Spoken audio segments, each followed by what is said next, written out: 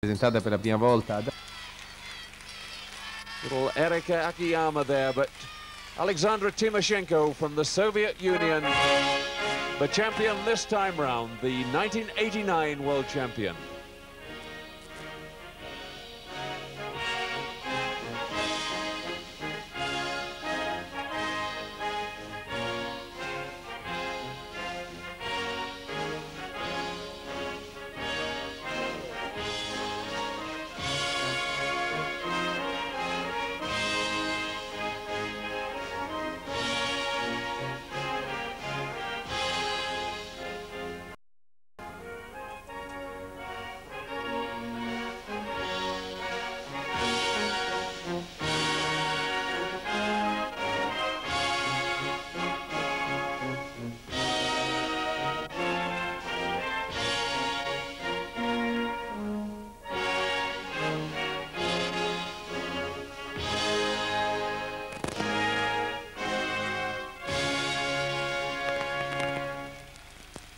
Que vous découvrez.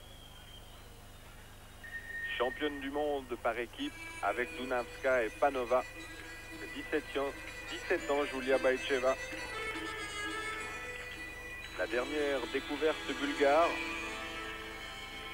On dit d'elle qu'elle a les qualités de Dunavska et de Panova.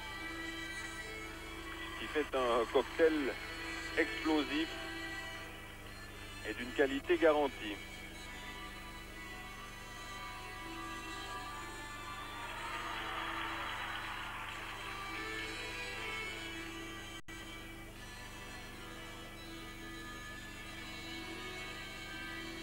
Elle n'est pas une inconnue. Elle a été championne d'Europe junior. Cette année, elle a fait la médaille de bronze à la Coupe d'Europe, à la finale de Coupe d'Europe mais c'est certainement de, la, future, la étoile bulgare. Hein. Regardez-la bien, observez-la. Vous risquez de la revoir souvent.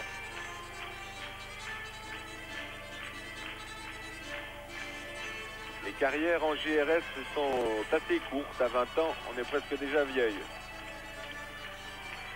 Moi, j'ai l'impression qu'il y a un retour il y a un moment, une gymnaste durait deux ans et elle disparaissait de la scène. Et aujourd'hui, elle commence à durer. Je crois que ce qui est raisonnable est venu quand même en avant.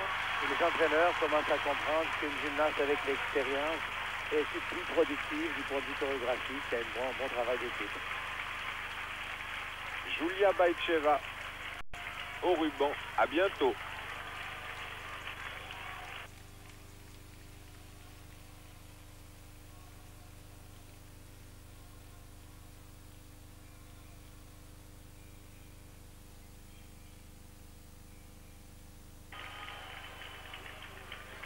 Adriana Dunavska dans cette finale au ruban. Peut-être aimez-vous ces gymnastes, vous aurez la chance, la possibilité de les voir ensuite les 28 et 29 octobre pour la JRS Swiss Golden Cup à Saint-Gall, une épreuve originale, une épreuve qui ne sera pas tout à fait comme les autres. Non, effectivement, euh, les spectateurs intéressés pourront voir toutes les médaillés de Sarajevo, d'abord. Les meilleurs, euh, environ les meilleurs 15 meilleurs gymnastes au monde seront présents à Saint-Gall. Et la compétition, contrairement à ce qui se passe ici, sera jugée par des juges neutres, des juges qui ne sont pas participants, parti pris à la compétition. Et la grande nouveauté, c'est que dimanche, au lieu de faire une compétition, on fait une gala où toutes les gymnastes se présentent d'une façon idéale. Nous espérons d'avoir beaucoup de succès avec cette compétition. Alors un gala, c'est peut-être une idée à retenir pour les championnats. Peut-être verra-t-on comme au patinage artistique aussi un jour consacré au gala avec des projecteurs, d'autres musiques, d'autres tenues. Il est intéressant de relever le choix des costumes, le choix des couleurs des rubans. Est-ce qu'il y a des règles très précises? Non, euh, le choix des, des couleurs, euh, la forme par contre, certains décolletés, certains c'est défendu par le règlement. Mais la couleur est tout à fait au choix de la gymnase, des entraîneurs. L'accord entre, les couleurs des rubans et des engins avec ceux du costume, c'est aussi libre, ce qui permet des fois de très belles combinaisons. des fois, ça peut provoquer une certaine confusion. Je crois qu'on aura l'occasion de parler plus tard, certainement, pour vous donner un exemple.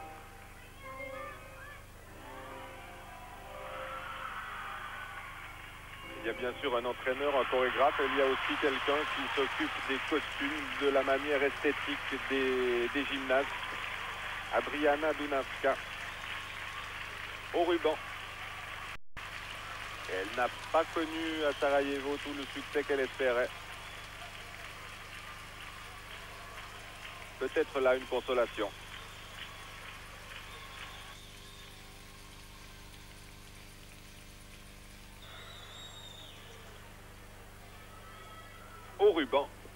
Oksana Skaldina.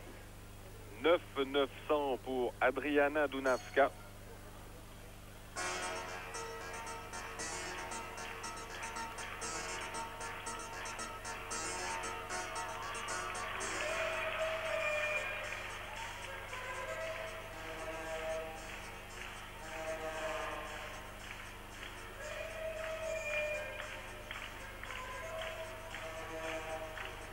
Il a énormément de fraîcheur, beaucoup de gaieté dans cette approche d'Oksana Skaldina. Tout à l'heure, on disait de Timoshenko qu'on on sentait qu'elle avait le plaisir et ici, elle a la joie de faire. Elle s'amuse vraiment. En tout cas, c'est le rôle qu'elle joue. Ah, on le sent, cette passion, ce plaisir. Le public tape des mains.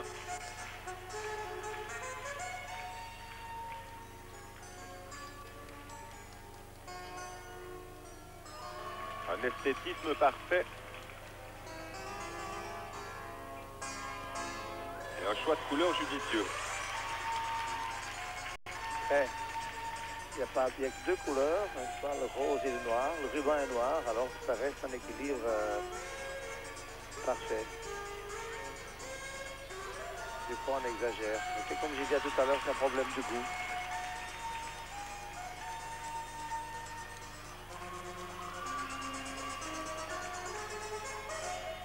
Un goût parfait, un charmant sourire et un très beau numéro au ruban. Très près.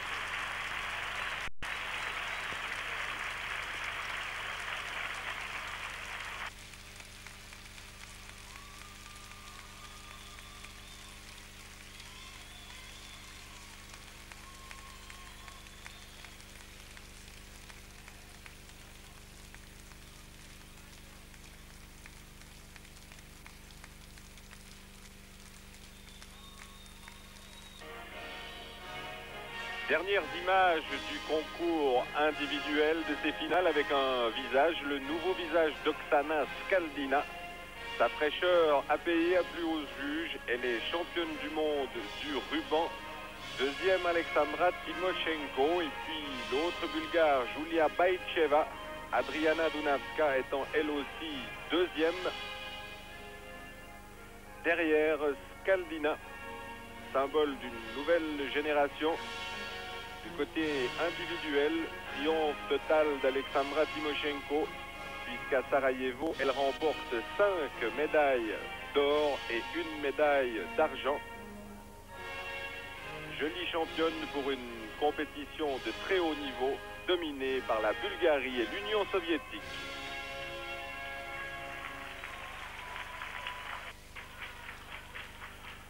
Pour terminer, feu d'artifice avec l'exercice par groupe, trois rubans, trois cerceaux. C'est l'Espagne qui commence sous vos yeux.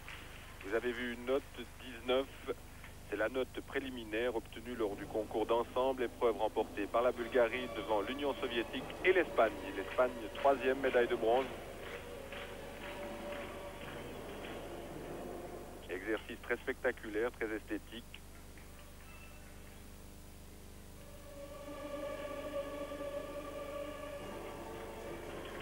Carmen. Un thème très prisé au top 50 de la GRS. Carmen vient largement en tête. Fernando Damaso, vous aimez beaucoup l'exercice par groupe. Moi, je pense que la discipline règne dans la GRS. Euh, Je pense que des fois que la télévision ne rend pas tout à fait l'effet, et nous que vous regardez depuis en haut sans utiliser notre moniteur, voyons que c'est formidable. Du point de vue espace, Alors, on vous a entendu. Et il y a énormément de possibilités de chorégraphie, de création. Alors cette fois, tout est possible ou presque. Oui, ça dépend des engins. Cette combinaison que nous avons cette année avec des cerceaux et des rubans pose des grands problèmes. Ce sont des engins de, très difficiles, très de, de maniement très différents. Et si l'exercice de la chorégraphie n'est pas excellent, ça risque de provoquer des confusions. Alors tout ça demande encore plus de travail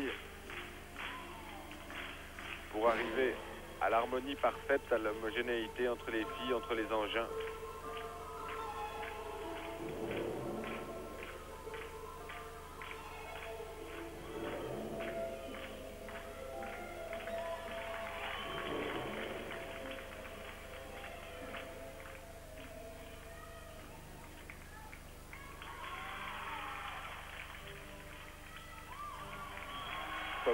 Jolie.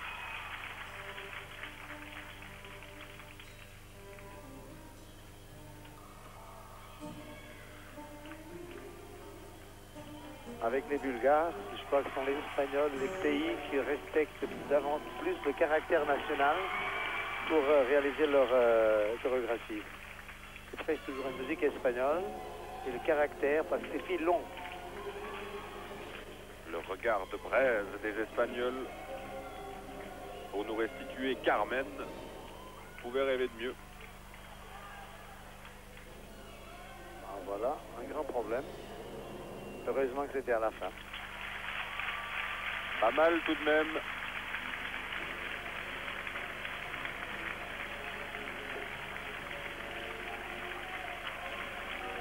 Carmen, l'exercice de groupe des six jeunes filles espagnoles.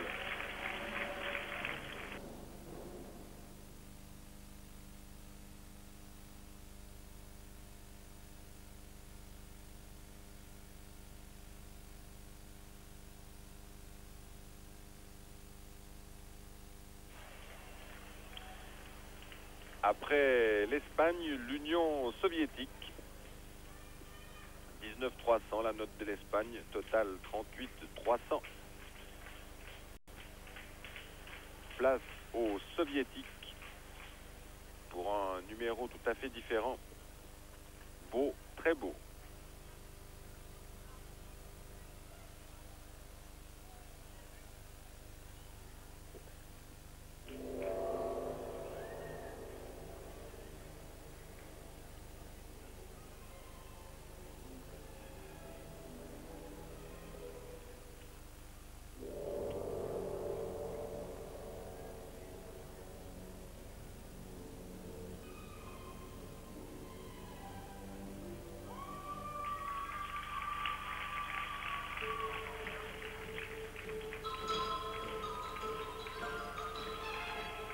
Avez reconnu le thème musical.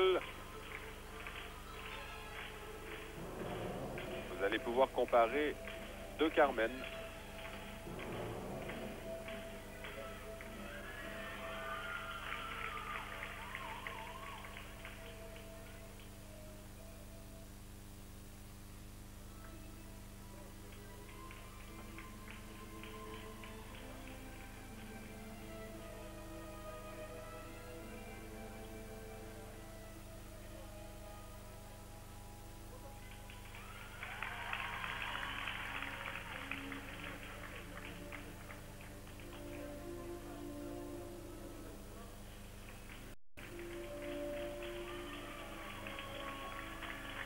Très très beau, très beau. Une chorégraphie plus travaillée.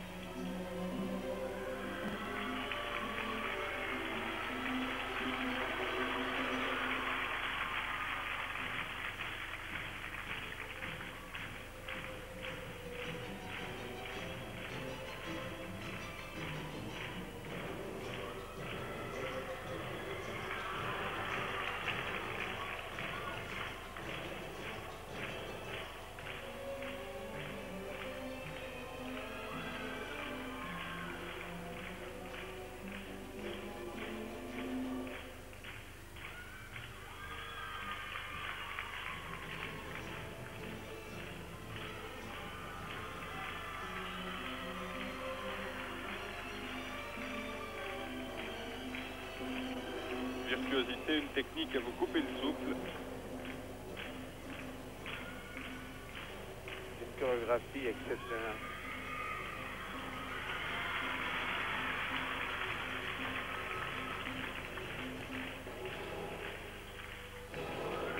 Fantastique cette prestation. Moyenne d'âge de 18 ans dans ce groupe. Les soviétiques sont ensemble depuis cette année. Manière de travailler assez particulière. On fait d'abord la chorégraphie, on la diffuse dans tous les centres d'entraînement et ensuite on va chercher les meilleurs à chaque place. C'est une technique, n'est pas celle des Bulgares qui ont une équipe fixe. Le résultat est exceptionnel, c'est parfait.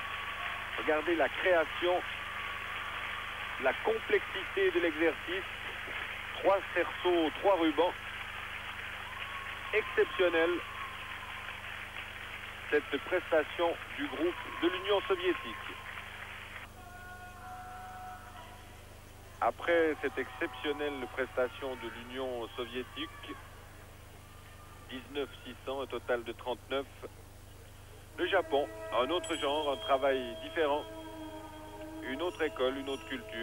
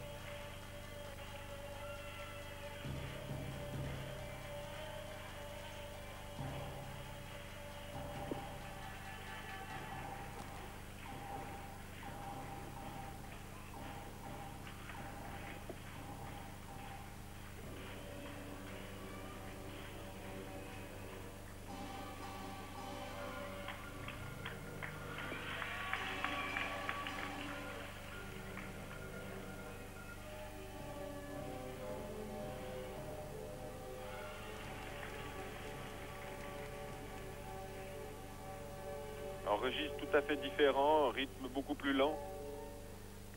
Et surtout de, un travail beaucoup plus linéaire hein, du point de vue chorégraphique. Quand on compare avec le russe, indépendamment du problème de la culture, de certains types de mouvements, c'est un travail chorégraphique beaucoup plus simple.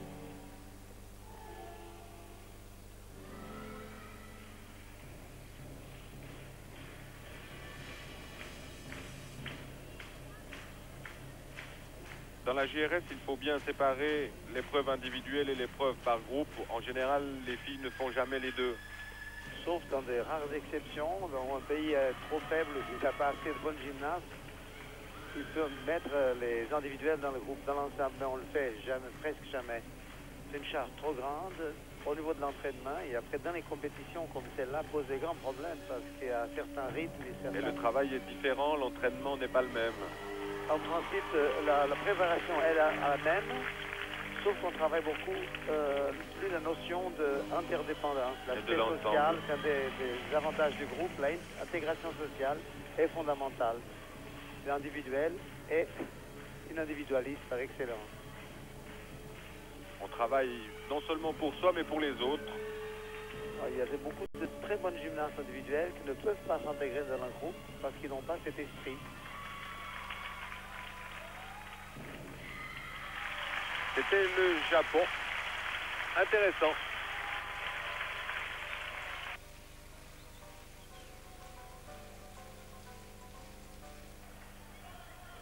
Après le Japon, la Chine.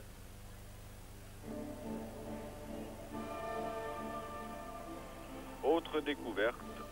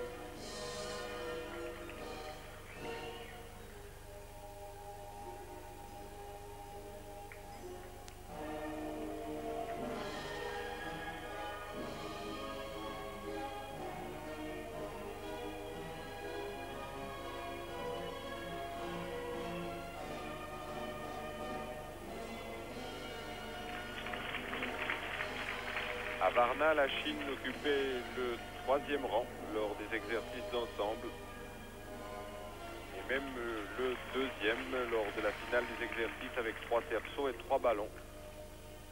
Moi, je crois que la Chine a maintenant une nouvelle équipe parce que, à vrai dire, ils m'ont un peu déçu.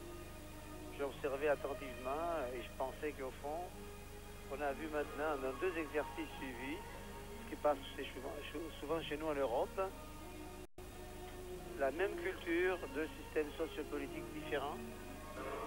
Et ça se remarque très bien dans les compositions.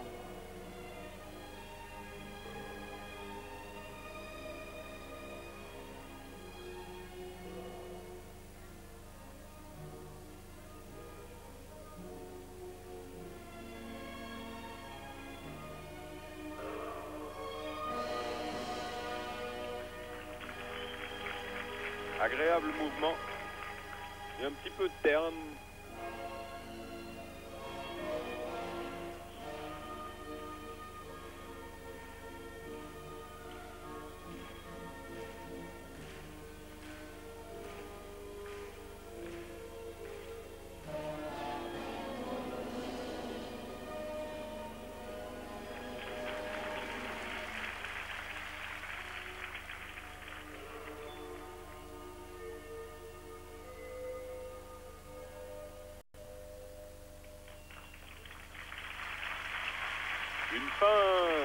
Tout à fait intéressante de la part des Chinoises.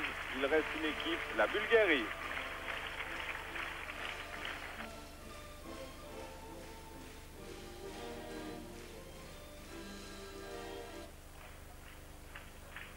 Dernière équipe, celle de Bulgarie. On ne pouvait rêver d'un final plus beau avec cet exercice absolument hallucinant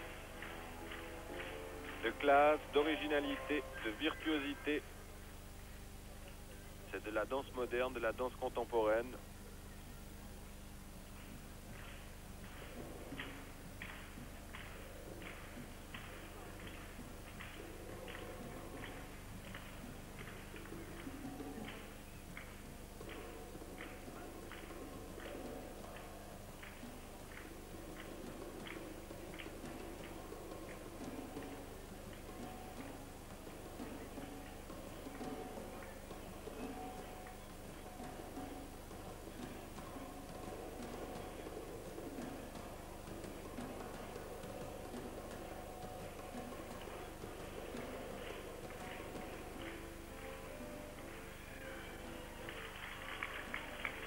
Originalité, prise de risque folle.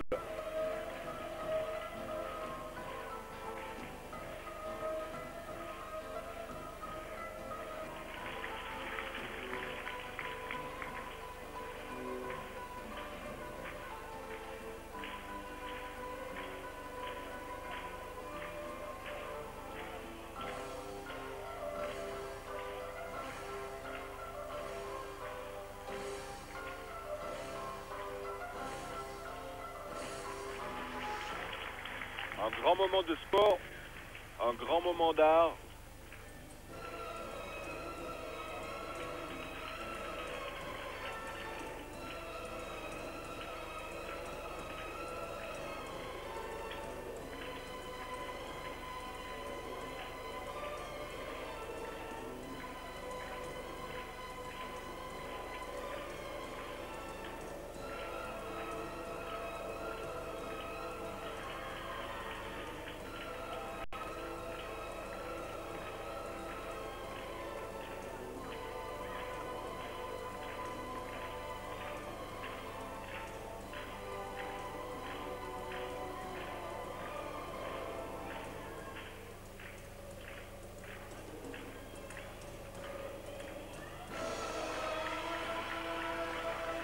Toute petite imperfection. Mais quelle démonstration magistrale. Peut-être le plus bel exercice vu lors de ces championnats du monde de Sarajevo qui s'achèvent avec l'équipe de Bulgarie. Fantastique.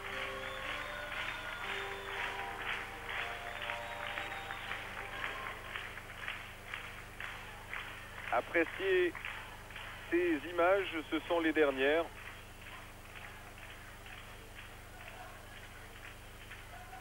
L'équipe de Bulgarie face à l'Union soviétique une fois encore. Qui va avoir la médaille d'or